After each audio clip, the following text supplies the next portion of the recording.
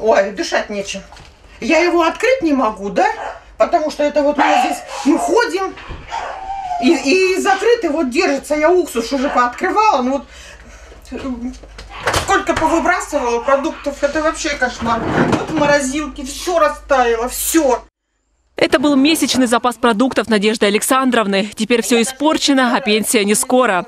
На что жить пока не думает. Больше волнуется, что свет в ее доме появится не скоро, а значит рисковать жизнью придется еще не один раз. На днях она выходила из дома, было темно, женщина споткнулась и ушибла ногу. На руках у нее был полуторагодовалый внук. По счастливой случайности малыш не пострадал. Так получилось, что одну часть э, горы включили сразу же, а мы вот как будто как проклятые. Дошло до того, что, извините, мы даже не мытые. Потому что все водонагреватели, они тоже работают от электричества. Правильно? Я не знаю, как мы будем выживать. А думать, как выживать жителям горы, придется еще не один день. По их словам, никакие работы по восстановлению электроснабжения мэрия не проводит. А на вопрос, когда вернется свет, им отвечают еще как минимум через шесть дней. Они постоянно обещают.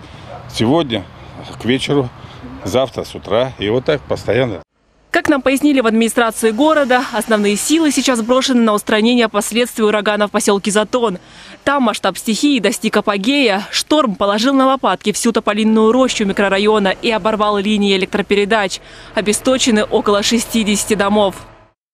Всего от жителей в центральном районе поступило 254 заявки. Все они на контроле, то есть они все учтены, все в порядке очередности, туда бригады выезжают. Ну, конечно, никто не будет их 6-7 дней ждать. Восстановительные работы в Затоне планируют завершить уже сегодня, а завтра бригады будут перекинуты на остальную часть центрального района, в Нагорную часть поселки Лесной и Ересной. Вернуть туда свет обещают уже завтра. Валентина Аскерова, Павел Лаурнин. Наши новости.